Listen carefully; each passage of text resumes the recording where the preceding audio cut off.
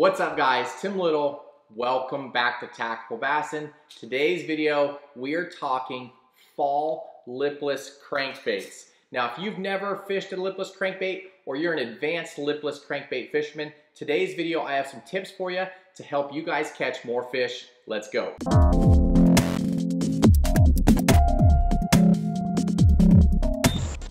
Today I kind of got a mess here for you. I'm actually wishing I could be out on the water, but they're calling for two to three inches of rain today. So uh, what better time to, to change out hooks, change out gear, and get ready for fall fishing time than when it is storming outside.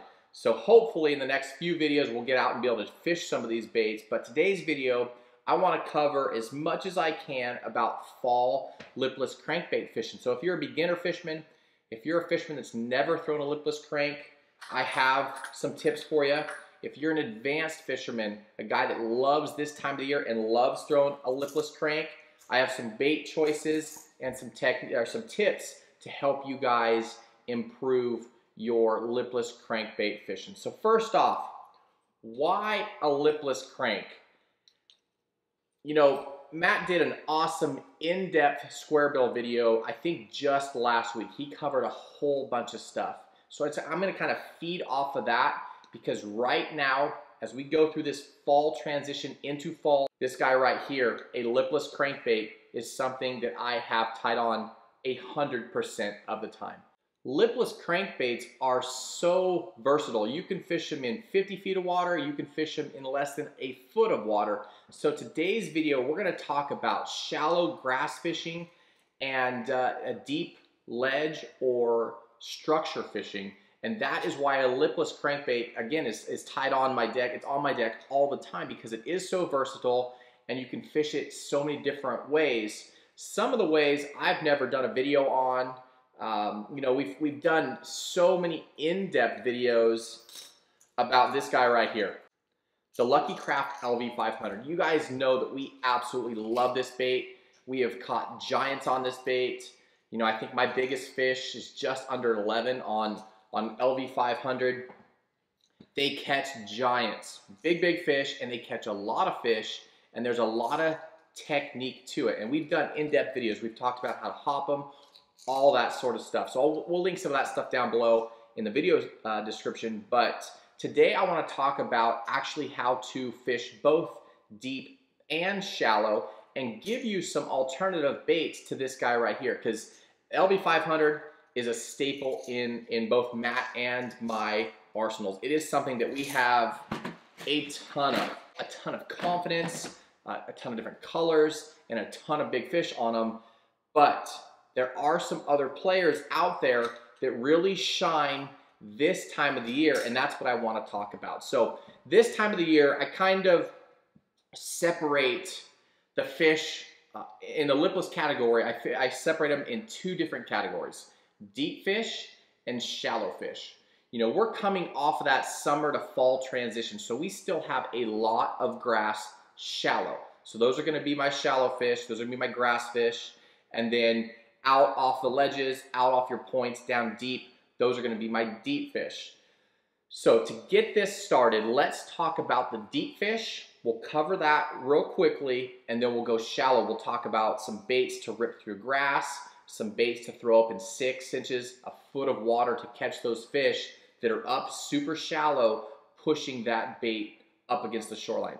You know, this the last few videos, uh, we've talked about the fall transition. We've talked about where these fish are going, how they're going to separate, how they're going to push the bait ball shallow, how what the fish are going to congregate to uh, deep. So all that will feed into today's video where we talk about how to take advantage of those fish with the lipless crank.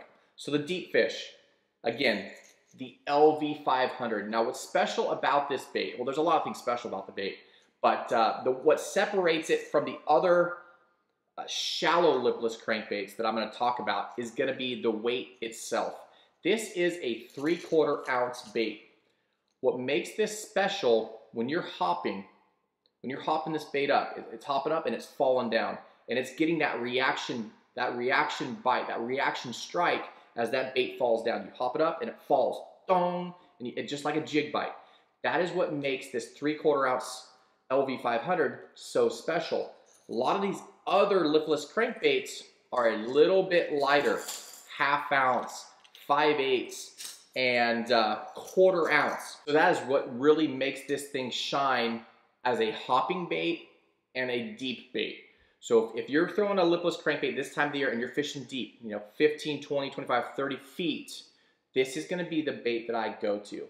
And I'm not gonna just fire it out there and reel it back.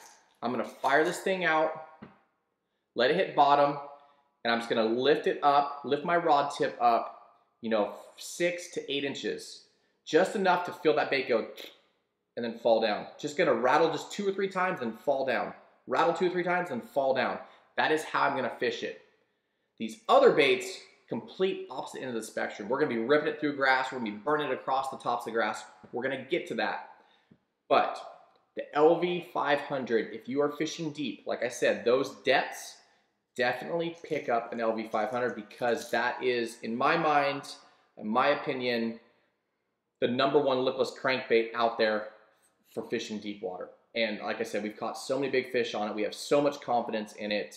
Uh, real quickly, how we rig these, um, I'll kind of go through the different baits themselves, but uh, any of these lipless crankbaits, it doesn't matter if it's the three quarter ounce Lucky Craft or a TN50, little tiny lipless crank, you want some kind of EWG hook point. Now what that means, we've talked about it in previous videos, most, most hooks have a straight shank, right? So your hooks, EWG tips those points in. So what that allows, two things. When you stick a fish on it with that angle, it's gonna keep that fish, it's gonna be harder for that fish to come unpegged. Also, when you're fishing shallow and you have those hook points turned in and you're coming through the grass, it's just that little, little difference in angle makes them more weedless and easier to get through the grass. So if you're just burning the, you're throwing a rattle trap up super shallow and you're just ticking the, the grass, tip your, your hook points in. So get some EWG. Gamakatsu makes some great ones.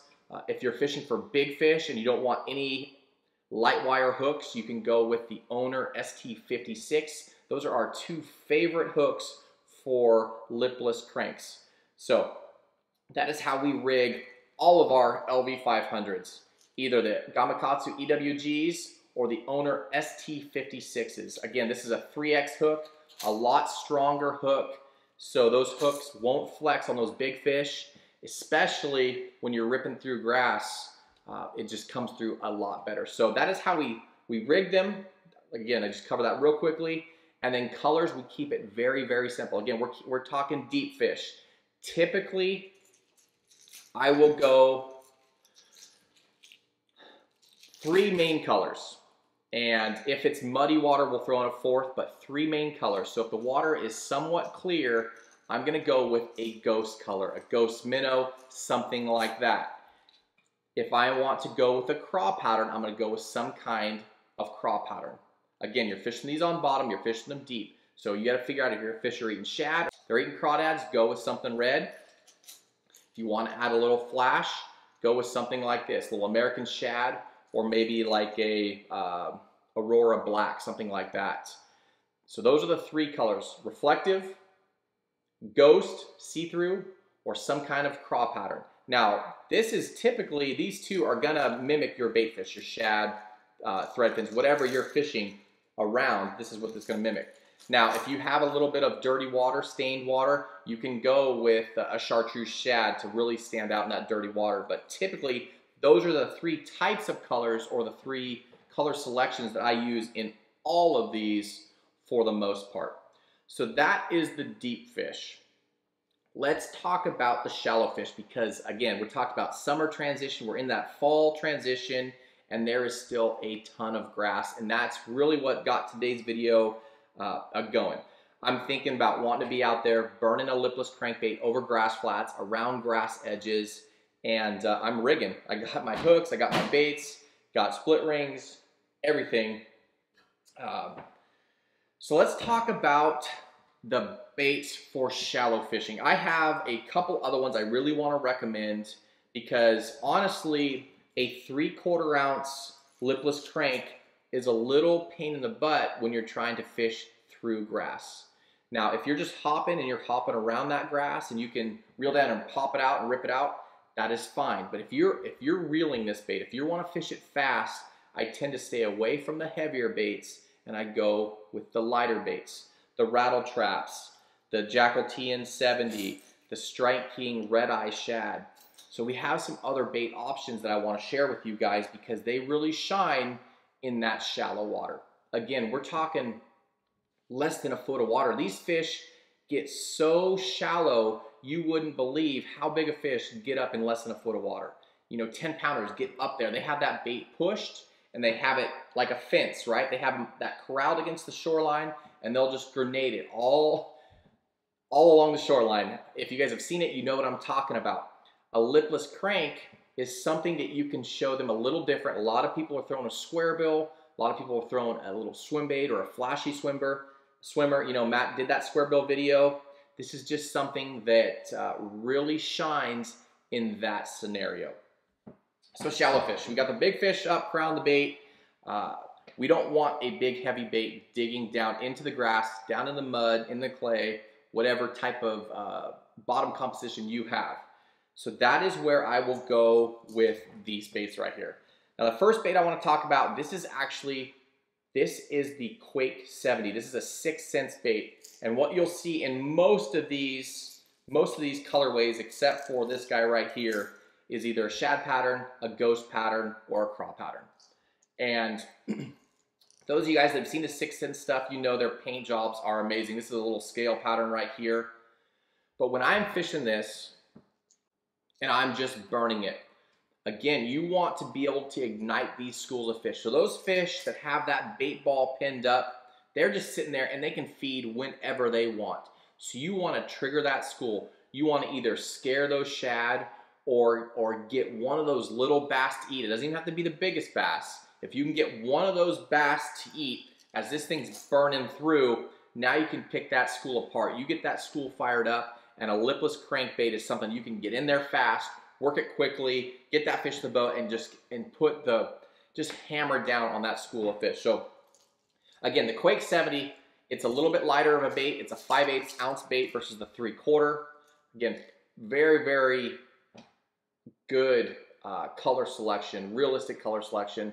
And they come pre-rigged with that style of hook I was talking about, that EWG. This is a size 2, I believe.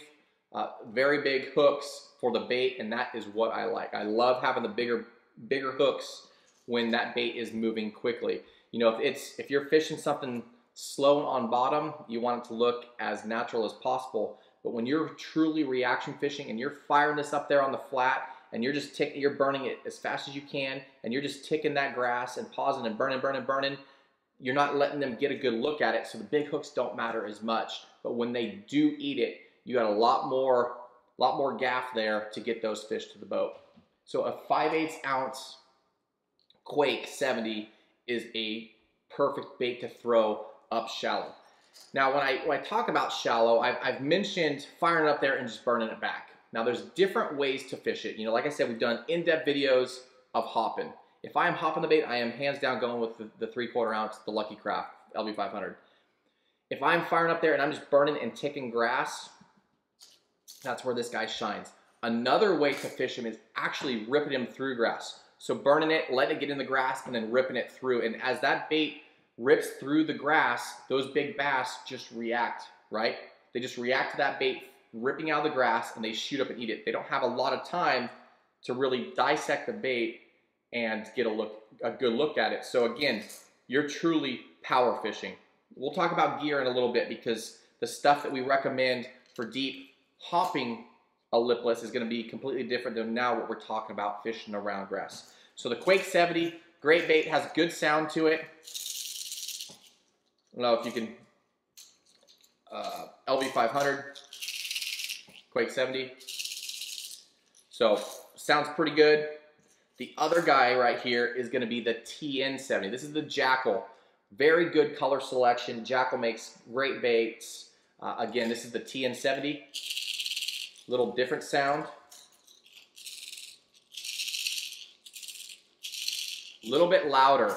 the TN70 uh, is another bait. It's it's uh, it's a 5 8 ounce bait, so again a little bit lighter than the Lucky Craft, but it's uh, it's just another winner. We've had days deep fishing it where the LV doesn't work as good as the as the TN70 and vice versa. So that is why I have so many different types of lipless cranks because every day is a little bit different. The fish can be finicky. They could want something less rattled. They could want something with a just a solid one knocker.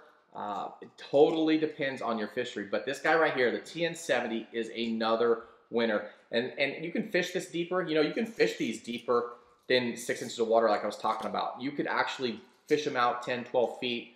They will fall a little bit slower. But if you're fishing those deeper grass lines and you're wanting to rip out the grass, these guys are winners. The last bait that I want to talk about, and then we'll go into some, some uh, different styles of baits, is going to be this guy right here. This is the Strike King Red Eye Shad. Now, what I really like about this bait, look at the size difference. This is a three quarter ounce bait. This is a half ounce bait. So you get a larger profile. You can see here, I went ahead and rigged a red hook on the back, ST56 on the back, or red hook on the front, EWG Gummy, and then uh, ST56 owner on the back. But you can see the size difference. It's a lot bigger bait, a lot bigger profile in the water, and a lot different sound. This bait comes in two, it comes in the, the normal and it comes in the two taps. This is the normal. Two tap. So a lot deeper sound. It kind of has that one knocker sound like a square bill, like the biggie. And again, when you fire this thing up or you're ripping it through the grass, uh, this guy right here is just a different profile, a different sound, and it has really put big ones in the boat, uh, especially the last couple years for me. So this is the red eye shad. So those are the baits. You know, you guys, you you beginners that have never thrown a, uh, a lipless crank before, some of these can be kind of pricey. The Strike Kings, um, I don't know, six or seven bucks. Some of these get up to like 15, 16 bucks. One thing I will say, we've talked about them for years the cotton cordell, the, the, the spot, the super spot, and the, the rattle trap, the Bill Lewis rattle trap. Fairly inexpensive baits in the category and they work. Again, you can get them in that lighter. You can get them down to quarter ounce if you really wanted to. But uh, if you have never thrown a lipless crankbait, you can get these things for fairly cheap. They're fairly inexpensive. You will want to change out the hooks and split rings. But this guy right here, another half ounce bait, real high pitched sound, but it's got a larger profile, lighter weight, so it doesn't get buried in the grass like the heavier baits. And when you can when you can fire this up there and just burn it along, and you want this thing just tut, just ticking the tops of the grass to get those reaction bites. And when you hit the grass, you want to rip it. Burn, burn, burn, pause, hits the grass, rip. You want to work these things very, very fast. So a seven to one burner is going to be key. But again, that little guy right there, fairly inexpensive. So if you guys have never tried a lipless crankbait, give it a shot. You guys will be impressed with these. I mean, Matt and I, we still throw these today because they work. Different sounds, and it's it's you know everybody in the if everybody in the world is throwing, let's say this guy right here, and you come up behind him with a lighter bait and a different sound bait, it, it all changes. You know, it's it's the fish can be very finicky some days. It all depends on pressure Depends on how many guys have found that school of fish. Um, but all of these baits, de depending on the day, depending on the situation, catches big ones. So now that we, one more real quick, you uh, northern guys, if you guys haven't tried this guy right here, this is the Damiki Tremor. This is uh, a, a, really special uh, color for you smallmouth guys. This is a light green. It's it's a called, I think it's called soft shell craw, something like that. Don't quote me, but uh, we'll link it down below in the video description. But that color right there is a, it's a special bait on your smallmouth fisheries, especially up north. So definitely check those out. But the Damiki Tremor, again, another bait that uh, is in our lineup.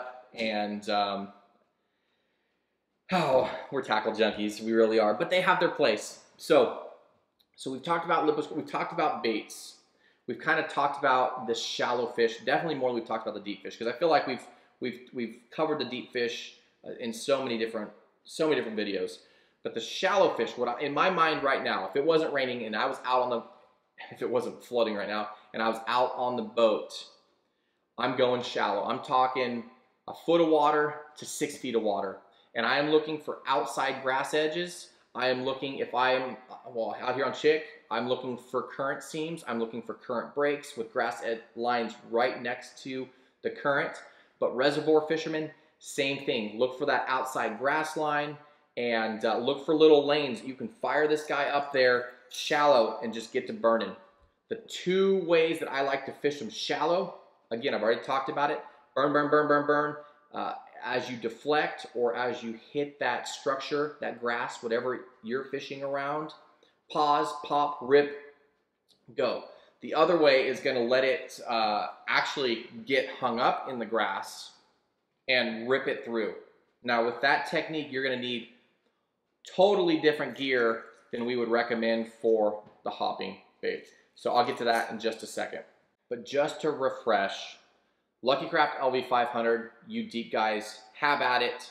It is a phenomenal bait and catches giants. Shallow fishermen, go with that Quake 70, the TN 70, the Rattle Trap, or the uh, Red Eye Shad. Those are all winners. And like I said, some are fairly inexpensive. Some get a little bit more, you know, a little bit more pricey. All of them, I change out uh, my hooks. That's what I'm doing today. I'm changing out my hooks. Again, uh, either Gami EWGs or Owner ST56s, that 3X hook, are going to be my two go-to hooks for all of these. One other thing I want to talk to you guys about before we talk gear is going to be blade baits. Now, I typically, hmm, wintertime is usually what you think about blade baits, right? Silver buddies, um, just slow, methodical, quiet fishing. You know, the bite is slow, the, the, the lake's cold, the water's cold, the fish aren't very active. That's typically what people think about blade bait fishing. Well, I'm here to tell you that right now you can go catch them on a blade. If everybody in front of you is throwing something with a rattle, try going stealthy and go with something without a rattle. You know, you can burn this, you can rip it through the grass, you can hop it. Very, very universal bait. This is the Damiki Vault. Now, a tip for you. A lot of these blade baits come, this is the Keyburn right here. These are my two favorite. Damiki Vault and Jackall Keyburn. You can see these little hooks right here. What I do with all of my blade baits, even my little TN50s, I change out the hooks. Now again, we're fishing for big fish. If you want to fish stock stuff, that that's go for it. But I don't want to be, you know, I don't want you to have heart heartache, heartbreak if you stick a PB and you lose it because the, the hook's bend out. A lot of these little finesse blade baits come with really light wire hooks. I changed mine out to, I changed the split rings out to either number twos or number three hyper wires. And then these guys right here. This is the owner Zowire. This is the STX 38. It's a uh, heavy plus, so it's a more stout of a it's it's it's a little bit stronger than a, a traditional ST36. Um, but they come in really small sizes. They come in that Zowire, that really strong stuff. It's got that that coating on it, makes them super slick. It allows that hook to penetrate a lot easier. But I put these on all of my little blade baits and I haven't lost a big fish yet.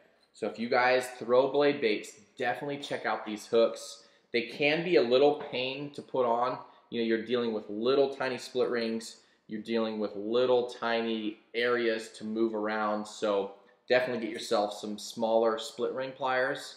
But if you guys like throwing blade baits or you like throwing lipless crankbaits and you haven't tried a blade bait, fish them in every location that you would traditionally fish your, your lipless cranks, and you'll be surprised with what uh, reacts to the, the stealth version of the lipless.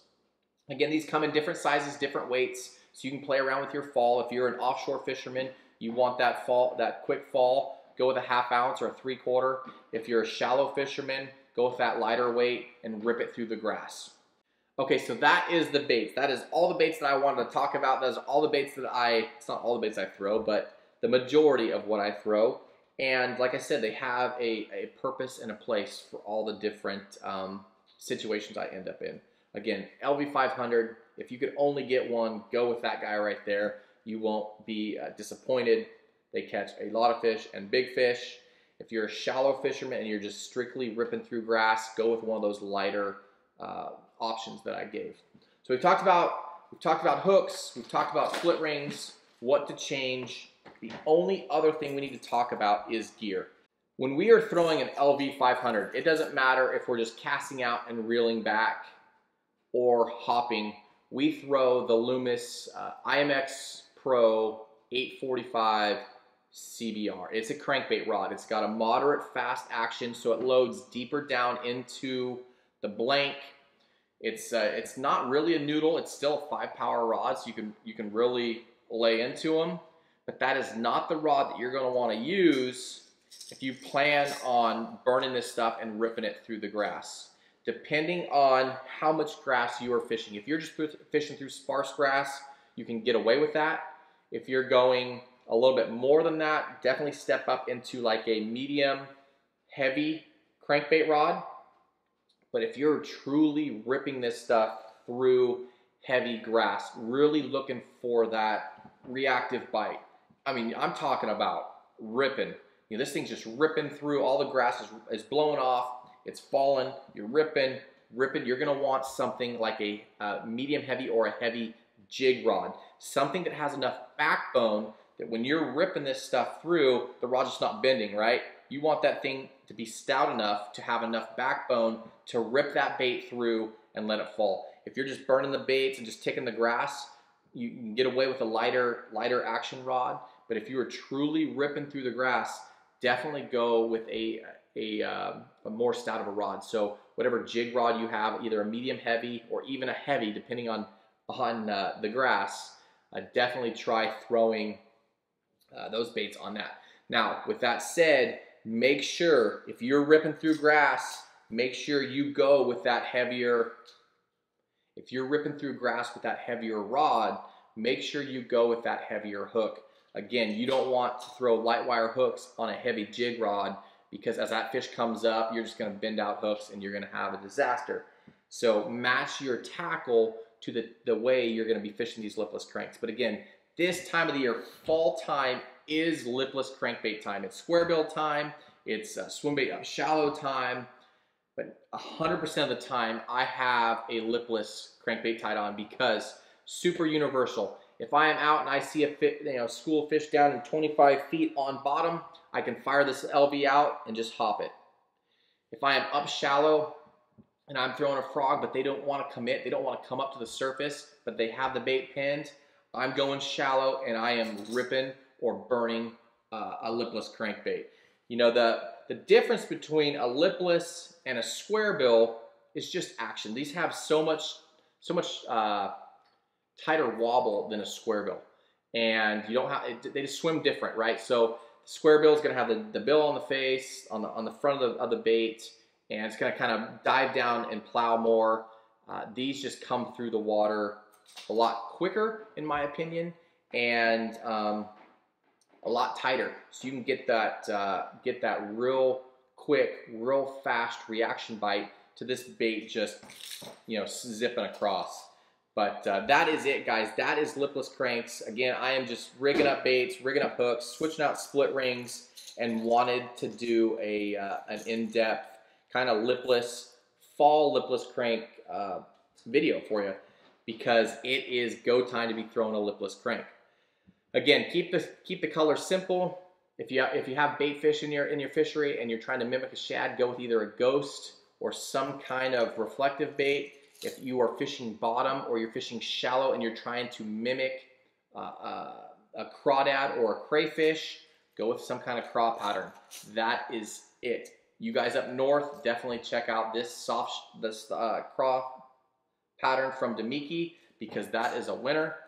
And definitely don't be a sleeper on the blade baits. Again, They're so much fun to, to throw. You can get away with throwing them on a little bit lighter rods and reels, uh, but always have this tied on as a backup plan, or at least have it in your box as a backup plan because sometimes they will not eat the loud, the loud stuff, but they will eat the silent stuff, and you'll be surprised with um, the fish that are there that aren't that aren't uh, reacting to this. But uh, if you guys have any questions, please leave those down below in the comments section. I'm sure I missed something, but again, update your, your tackle, your hooks, your split rings, stick with those colors, stick with these baits, and uh, you guys will have fun this time of the year.